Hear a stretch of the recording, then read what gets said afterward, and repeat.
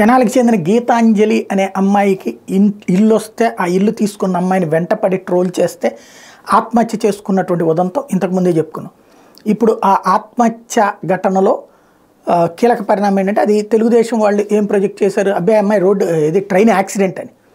Accident అయిందనినే ముందు రాస్తారు ఎఫ్ఐఆర్లు తర్వాత పంచనామా అప్పుడు చెప్తారు. అది యాక్సిడెంట్ అంటే గవక్కన ఎదురెళ్ళిపోతుందా? ఎదురెళ్ళిందంటేనే అర్థమవుతుంది కదా అక్కడ. ట్రోల్ ట్రోలింగ్ వల్లనే చనిపోయారని పంచనామా రిపోర్ట్లో రాశారు.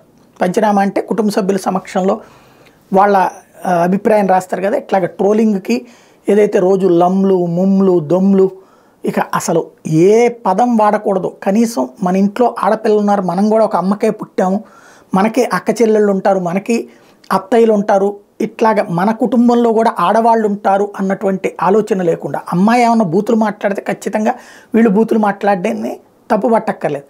కానీ అమ్మాయి చెప్పింది నాకు ఇల్లు ఇచ్చాడు అని చెప్పిన పాపానికి ఒక లబ్ధి చేకూరింది అన్నదే పాపమయ్యింది ఒక పేదరాలికి అమ్మాయిని దారుణంగా వెంటాడి వేటాడినటువంటి నేపథ్యంలో మాటలతో పొడవటం ఇంతకుముందు సమాజంలో వినేవాళ్ళం చుట్టుపక్కల లోకులు పలు కాకులు అనేవాళ్ళు. ఇప్పుడు కాకుల కంటే దారుణంగా పొడుచుకు తిన్నటువంటి కారణంగానే ఈ మరణం సంభవించింది అన్నటువంటిది మరోసారి స్పష్టమవుతుంది.